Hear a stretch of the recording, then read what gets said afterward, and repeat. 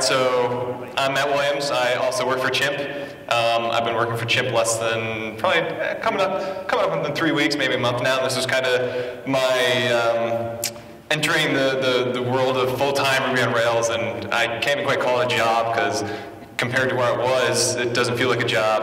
And I don't have anything kind of extraordinary to talk about or technical or new release, but I kind of want to tell you about working in a corporate environment like a uh, Fortune 50 company, corporation, and how I kind of made do with what I had and made the most of it, and how I kind of made this transition to where I am now and a much happier person. So here we go. So working for a corporation is, is very, very difficult, and not necessarily difficult in terms of the job duties, but difficult of what they give you. So, you know, as I progressively got more and more involved in the Rails community, I started noticing the constraints I had more and more. For example, um, software, hardware, um, various corporate procedures, corporate processes, and, and, the list goes on and on and on and on and on. Um, so the first thing you have to do is kind of find your way around them, and not necessarily, you know, bad ways, but enough where it might, it's kind of borderline, you know, you might be breaking the rules, but it's all for the better and you can always ask for forgiveness later. So I think that's pretty, pretty common. So this may or may not be the scenario I was stuck with. Um, I had to work on Windows. Um, there were some Solaris and Linux boxes kind of spread out, although they belong to different groups and different people administer them, and you kind of had to know people, and it, it's a kind of a very weird um, I don't know, kind of a weird network of things of, of other people in the corporation who are also trying to do bigger and better things than what you're allowed to do. So you kind of have this underground, almost like prison-like, you know, behind the scenes, you know, behind IT's back uh, way of doing things. Um, everything's really locked down, especially when you were working in the type of work I was doing, which doesn't need explanation. Um, we had one choice of SCM. Uh, it wasn't CVS, it wasn't Subversion, it wasn't Git, it wasn't any of the other distributed systems. There was a system uh, run by IBM who they bought out, ClearCase. Ouch. Yeah. Um, there was one choice for issue tracking, which uh, if you have ClearCase, then you also have uh, ClearQuest, if you're familiar, and equally as bad.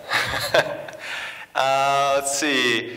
The, the language uh, that was a standard uh, kind of work for my group was Cold Fusion. And it wasn't even like latest Cold Fusion, it was like years of old Cold Fusion that we kind of got and picked up and just kind of built stuff with. And we are working with Oracle. So kind of hurdles along the way and, and, and needless to say, um, like I said, as I got more involved with the Rails community, what I was working with um, when I first started this job, eh, this stuff isn't too bad. Cold Fusion's really easy, whatever, and it talks to Oracle really easily and whatever. Um, but as I got more into Rails and more into community, I wanted to start bringing this into my, into my career. So you kind of had to figure out how to exploit what I had available. Um, so luckily, because of a certain position I was in, I had admin rights on my machine, which not everybody has. So I was actually able to install my own software, um, despite there being a full like three month long process to get a piece of software approved and installed on your computer by IT. Um, however, we had very poor IT oversight, so I could install whatever I wanted and they wouldn't detect it because they were pretty much just kind of scanning very, you know, straightforward directories and, you know, I had coworkers for kicks that, you know, put like a napster.exe in the root directory of their C drive and they never got, you know, flagged or anything like that just to um, give you an idea. And um, I also had some free time, but not necessarily free time like I wasn't always busy.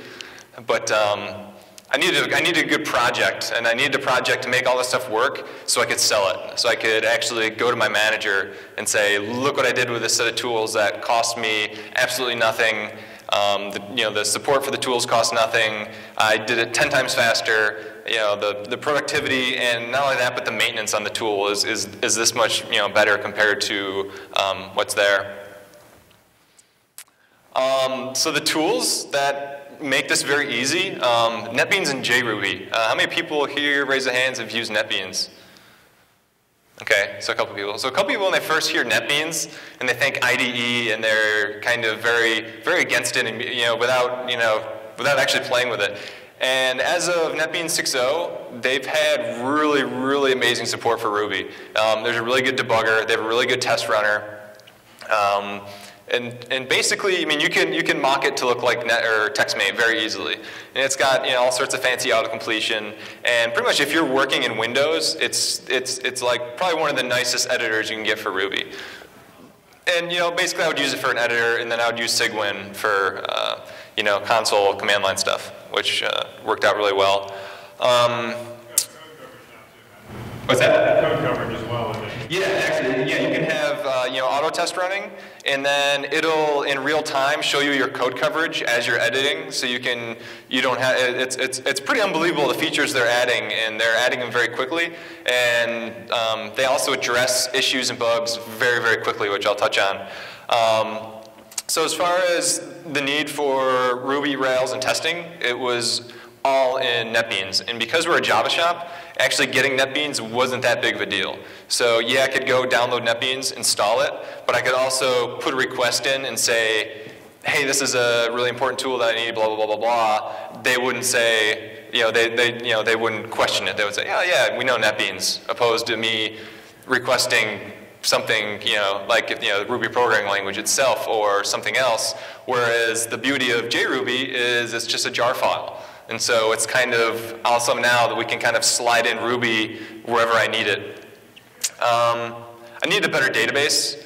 I don't know if anybody's worked with Oracle with Rails, but it's not the most pleasurable experience. Um, there are there is really good support. So using the Active Record JDBC libraries for Oracle, it's not bad, but it's not the greatest either. And uh, I guess Oracle lacks a lot of uh, um, features that you'd find in, uh, in Postgres that just make life a lot easier. And plus, uh, kind of the standards for um, what we are using in terms of database convention didn't match up to what Rails was using at all, and I had very limited admin access. So um, it was very convenient that a box came into my hands that had a Postgres server running on it for another tool. So I kind of piggybacked on that database, and things worked out very well. Um, as I progressed through this kind of transition, people were becoming more open-minded into other suggestions because lots of people were complaining about ClearCase. And so bringing Subversion and getting Subversion installed wasn't actually that big of a deal. Um, but as far as issue tracking, that was kind of still an issue. Um, but then comes in Redmine. And I don't know if anybody's used Redmine, but Redmine is probably one of the most incredible open source Ruby on Rails projects. And it's a, it's a, a full issue tracking system with full SCM integration, uh, wiki support, file management, uh, they, they do a lot. And so it, it's actually probably better than lots of the hosted solutions. Um, and so I was just able to spin up an instance of that. And not only was I using this for my projects, but some other projects were using it just for basic issue tracking and Gantt charts and stuff, just because it's a whole lot easier to use than like Project or uh, some of the rational tools. And then lastly, to, to kind of host these, this application, um, I just needed a machine that was never going to turn off. And I had that Postgres box. So I was kind of hosting the, uh, everything on this one Postgres box. That was kind of in a serverish room. Basically wasn't getting touched and no one else was going to kind of realize it was there except for the people that needed to know. Oh, 20% low battery. Let's see if I can continue here. This is very cool, by the way, the Keynote controller for iPhone. So all that, Instant Rails Toolkit. It's, you can spin it up in like 20 minutes after you download all the tools. And you're instantly running Rails applications, you're running your tests, and uh, it's, a, it's, a, very beautiful thing. Um, so immediately I started, you know, getting the requirements and everything I need to do. I was constantly, you know, I kind of brought my manager into the mix as things started progressing and I actually had stuff to show that meant something and not that I was just kind of wasting time. Um, so I did that by uh, first porting an existing application that was a Cold Fusion application and the port to Rails was like three days and it was so much more maintainable. Um, the URL structures were a lot more readable um, and countless other reasons. Um, I took a lot of criticism um, not necessarily I took a lot of criticism, but there's a lot of criticism in terms of um, people not necessarily wanting to change. Um, but I didn't necessarily say, okay, I'll go back to Cold Fusion. It was kind of, I kept drilling into it and drilling into it and drilling into it and broadening it, bringing it up whenever I could to kind of expose this more and for, more and more, you know, trying to get it to click in other people's heads. Um, and again, I just kept on showing off productivity. Um, but then also, I also started kind of legitimizing all this stuff. So all the paperwork and stuff you need to do and, and forms you need to submit to get software approval, I was actually going through the process. So in the end, when I actually had a product, I could actually show it off to people without the worry of, well, how, how did you do this, or where are you hosting this on, or you know, what, what tools did you build this with? So, and actually, as I started going along the process, paperwork was processed and IT would come along and install NetBeans. And so as I get the heads up that the IT guy's coming, I'm uninstalling NetBeans and making backups of stuff. That way when he shows up and, you know, you know, he asked me to step aside so he can install the software, this very technical thing on my computer, uh, because the software engineer can't do it himself. Uh, you know, things kind of looked right. So the result, um, I was a much happier person uh, in my job because I was starting to do, I was kind of bringing my hobby into my work life, into my career. Um, I was working with tools I didn't dread working with in terms of, especially, um, I didn't necessarily like working with Oracle. Um, I didn't necessarily like working with Cold Fusion, and so kind of bringing Rails into all that was really good. Um, I did gain interest from others, um, uh, coworkers' interest, uh, enough interest that brought a coworker to Acts As Conference last year uh, and this year.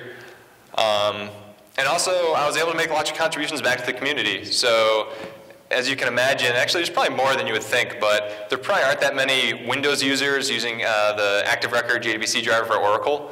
And so, as I was using this and, and just hitting all sorts of different uh, situations and scenarios, I was creating tickets left and right, and they were being addressed left and right. Um, Nick Sieger is a, is a machine. It was like as soon as I could get a ticket in there, there was like another point release with it fixed, and and I would take this back to, to work and talk to about people because you know there's software packages that we're paying hundreds of thousand dollars a year in support, and if we ever submitted a ticket, it's this three months, six months process to even establish if the ticket's worth fixing. And so the, it was kind of um, exposing open source to a group that necessarily um, hadn't embraced open source. And so also the same goes for NetBeans. I, I, submitted countless issues and bugs to NetBeans, and, and they've always followed up with emails, and they always send me emails whenever those fixes made a new release, um, which I thought was a very great thing. Um, so what was next? I, I left that job. So along the lines of Nathaniel's talk and kind of fear, um, I probably could have left much earlier into the Rails world, but I guess there kind of was this fear of, you know, can I hack it? And I have a wife and a family and a house and a mortgage and pet bills and, and, and all that stuff floats in the back of your head. And it's, it's really an intimidating thought to think, okay, I have an extremely cush job that's probably not in any risk in the next 10 years. Do I really make this endeavor and, and kind of head out?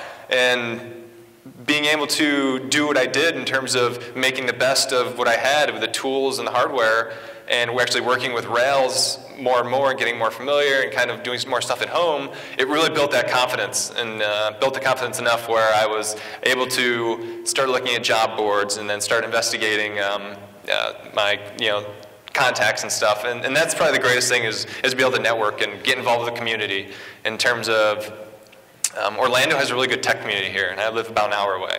So coming out to all the bar camps is no issue. Coming out to the Ruby user group meetings is no issue. Um, Linux users group issue. You know, it's it's all it's great, and it's uh, you meet a lot of people, and that's how I happened to meet Anthony, who brought me on the Chimp team. And it just so happened that Anthony lives like five miles away, and had I not kind of made this leap and, and got involved in the community and stuff, I would have never known that there's another Rails developer working for a startup full time, five miles away from my house, and as a, you know, because I networked and because I got involved, I'm now, like I said, I don't feel like I have a job. And so making myself part of the community really, really put me where I am now. And it's a, and it's a very great thing. And, and lots of people that I talked to when I kind of made this transition were very, you know, oh, economy's bad right now. Is this, sure you want, this is something you want to do right now? And you know they were kind of baffled that you know I wasn't hesitating at all. It was you know I, you know I wanted to you know almost get out as soon as I could once I finally overcame that fear, and uh, something I certainly don't regret. And so I kind of got that dream job that I can't even really call a job because it's it's it's literally felt like a hobby, and I'm sure everybody here that works Rails full time works does something Ruby related full time um, can say the same thing. You know why why work in this kind of environment if you're not enjoying yourself and it's not pleasurable? Um, and for the longest time, I kind of talked that way. And you know, meanwhile, I was sitting in my cubicle, you know, hanging my head some of the time. And I can't necessarily say I didn't like my job, but it wasn't ideal. And, and I think RubyConf for me was the tipping point. So all throughout my career, I've been kind of looking out the window all these people having fun with their Ruby and their Rails, and, and I'm going back to my Oracle, my Cold Fusion, and then I went to RubyConf, and RubyConf really nailed it in, and I saw and, and talked to so many people that were so happy and working on all these projects, and I got back to my desk that Monday morning following, and it was like not necessarily a walk of shame, but it was like, all right, I've, I've got to do something, and, and that's why I started, uh, you know, doing what I did, and I think that's it. So yeah, do stuff that makes you happy, and I think there's, you know, everything that Nathaniel said earlier, he kind of drilled it down, and, and this is probably said a million times at every different conference and stuff, so it's, it's, but it can't be said enough. So I think that's it. Thank you.